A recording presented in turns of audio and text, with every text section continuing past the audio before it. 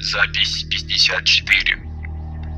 Прошло долгое время с момента жуткой войны с восембитами. И я не знаю, что делать. Прошло уже 4 месяца с того, как огромная бомба была сброшена неподалеку от нас.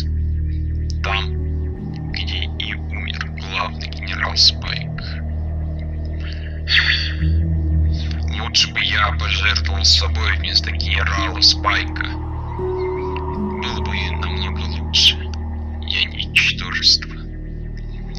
Наша армия Спайков слабеет с каждым днем. Было бы все нормально, и если бы не разные атаки бандитов на нас. Однако, в последнее время они не приходили к нам. Хм. И это странно.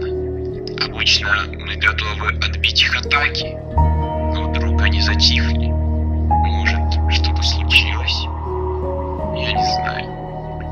Что их больше нет с нами. И мы можем дальше спокойно пытаться.